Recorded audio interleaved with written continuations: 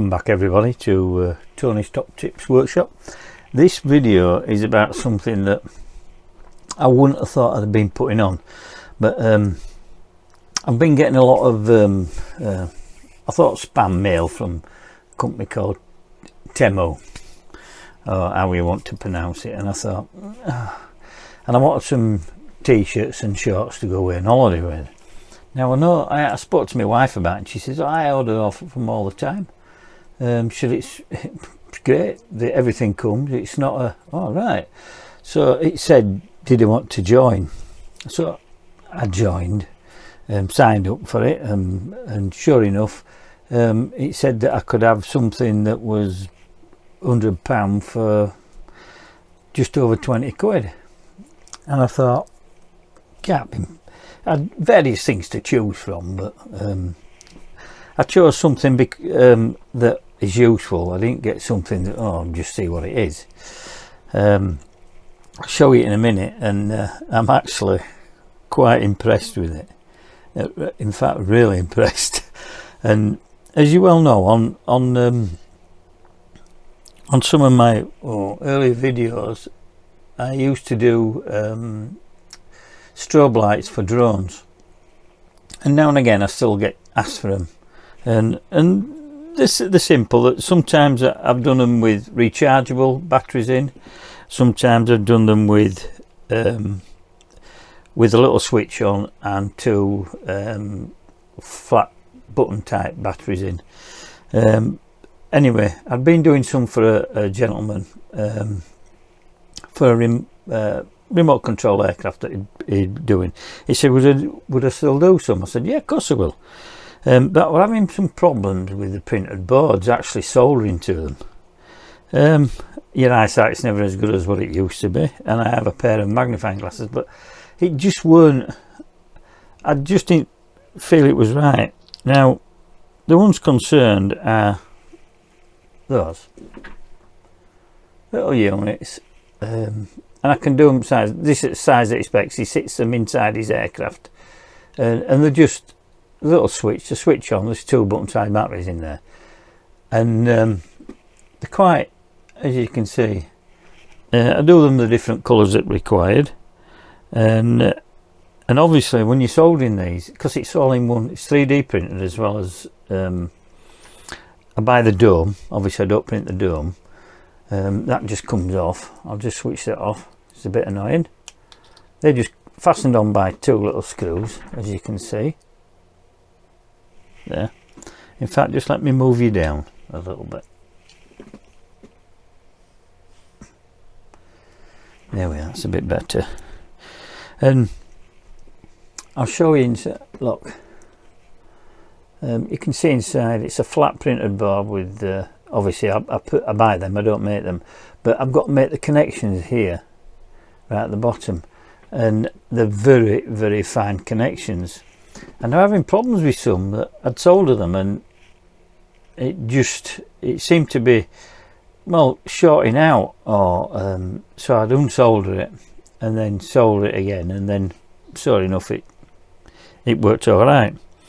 But I'll just show you um, what I actually purchased as my not free gift but near enough. And it was um, one of the digital microscopes and you see them on Temu all the time and I thought yeah it's going to be a bit of a gimmick this it's going to be I might as well look through a magnifying glass. Well I can assure you it's not. Um, I'll take you over to it and I'll show you it now. Right here we are. Yeah you've all seen them. Um, and it it comes with a variety of actual accessories. Um, I mean it comes with a target sheet. That's to um, focus in and what have you but there you can see that. But I've never used it really. Um, it comes with a remote control which plugs in. And it believe it or not it comes with a 16 gigabyte um, oh this did uh, micro SD card which goes in the side. There's various buttons on it. Two spotlights which you can actually dim. I'll show you it working in a minute. Um, it is really really surprisingly how well made it is. Um, it comes with a, a, deflector shield. You can put that on onto the end of the microscope and it just cuts ambient light out round shields it from shadows and that. This is a full metal base. It's not light. This is quite heavy. It's well constructed. I'll show you around the other side. A rack and pinion riser. And that's you tighten that in. It's like a um, a damper really. You just nip it up and it, it, allows it to move up and down okay full metal rod. Um, that plugs into the back. And you can see there it's got a little um, dimmer so you can dim the spotlights if you don't to right. That pulls in and out so the remote so you don't have to have that. Okay it's you actually manually focus it. It's not a automatic focusing. Um, it has on this side I'll show you this side it is rechargeable. It has its own battery inside. It's a um, there's your memory card in there. That's your charging point. Um, that's for your plug-in. This here is plus and minus. For the I believe it, it it might be for the um, screen. Um, I don't think there's any speakers in it. Um, I mean obviously why would you want speakers in it? But I'll show you the size of the screen.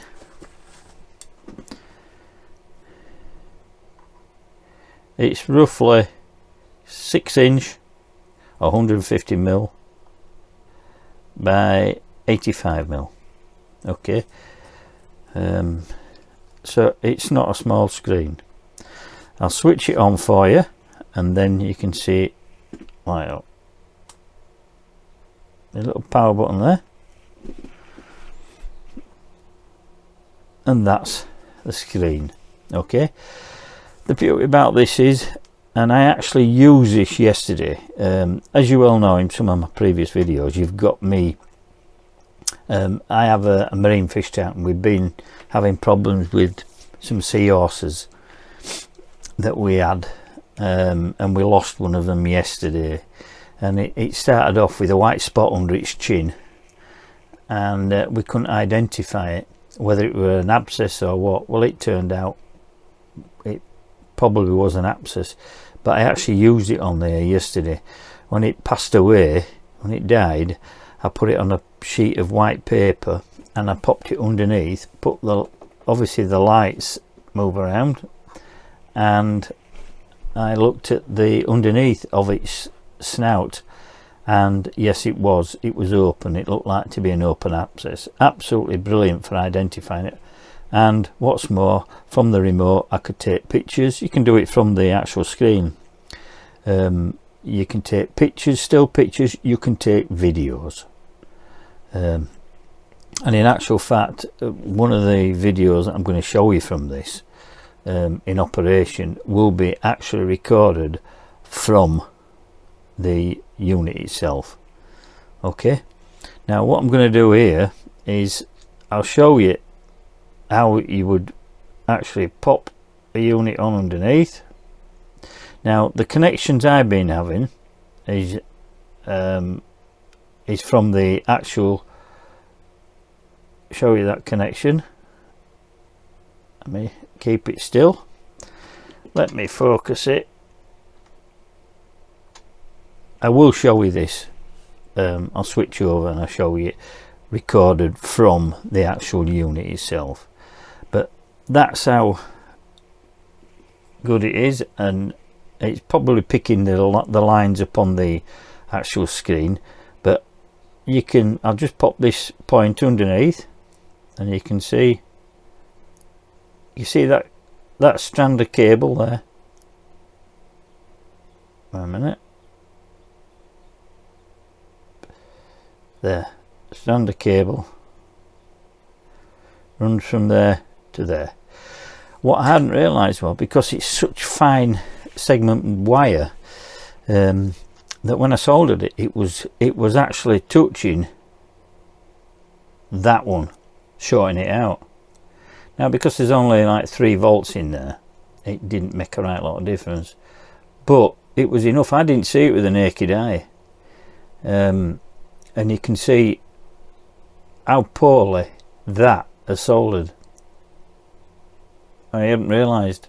And I normally got a solder and hence when I looked and found my soldering tip was faulty um, and that's the reason why. I hadn't spotted it but from looking under here and it's amazing because if you look at the actual I'll just focus in on that I'll do all this again for just in case I get some uh, screen lines as I call them um, I'll just focus that in. And you can see that's you won't believe that but that is the LED it's actually amazing what that is um, but yeah that's right on the center the LED as you can see it down there. Um, I've had this about four four or five weeks now. And you the number of times that I've used this I don't even put my um, head glass on that my headset on with the magnifying lens on. Don't even use it. Um, and it, it's just getting used to moving something about underneath it. And what I do if I'm soldering to so I can manipulate it is I use a bit of blue tack and I put it underneath the item the board and the unit itself the base. Um, so obviously it holds it firm and it enables me to hold the cable and solder it. And I know it's done exactly spot on. It's really good. Uh, just over 20 quid. And it's rechargeable. And the battery lasts quite a while in it and you can see at the top there that it it shows um, camera little top left hand corner. Now that'll that'll take stills is that?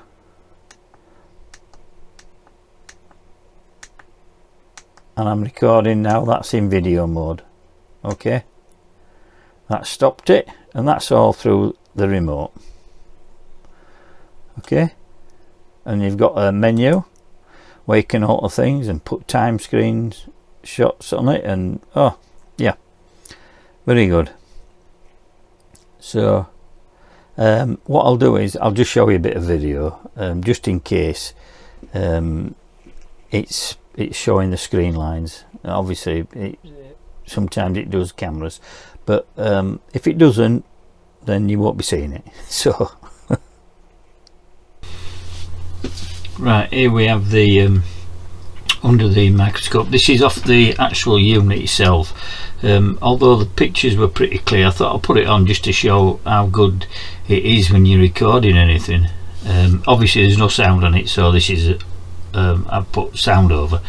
Um, but that's the cable concerned and as you can see there it um, it's quite loose and the pointer there. Um, just showing it and it how poorly it had actually soldered. And as I, I said earlier I didn't realise how um, poorly it had been soldered. And it went till I looked at the tip of my soldering iron and there was it was faulty. So I replaced the tip and I, I didn't resolder this because I wanted to show you. Um, but I have resoldered it and it's all about and you can see the all that little crud on it is actual um, um, flux from the solder. And you can see that point in the center the big blubber solder and uh, and how poorly it is. It's like crusted on the top and it should be nice shiny and uh, like that one there. And uh, also as you can see those fine wires um, they look quite thick there but they're not. I can assure you on that one. But yeah that's it. So it shows pretty clear well that's the conclusion to this video. Uh, just thought I'd show you um, the little device that I got and I've used it on numerous occasions. And yesterday with the Seahorse um, I couldn't see it with the naked eye but by God this did. Um, and I, I, took some pictures of it and a video and I posted them on a website. And I'm waiting for an answer now. You know for 20 odd quid um, putting watch batteries in. I put a watch battery in um, in two of my watches because of a collection of watches and I had to put them in and it's fiddly. It's easy with this. You just bit of blue tack down hold the watch down and you've got use of two hands under the magnifying glass pop out. And I, uh, one of my um, watches is a wind-up watch and I thought I looking at it and I thought I can see some dirt in there. Oh and I didn't want it to get into the mechanism. But do you know I got it out and I got it out through using this. It's really good. So yeah if you shelve it and put it away for six months and then oh I'll change a battery. Um, oh something's gone faulty with this I want to solder this. Just get it out and use it. So there you go. So right that's ending of the video. So I'm going to be doing another one.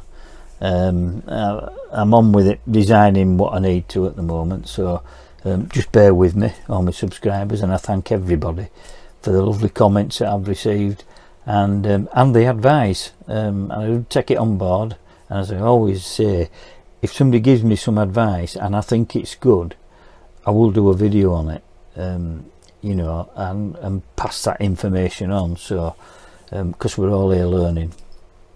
So right um, like and subscribe um, thumbs up if you like the video. Um, and as I always say until next time you be safe you be careful and bye for now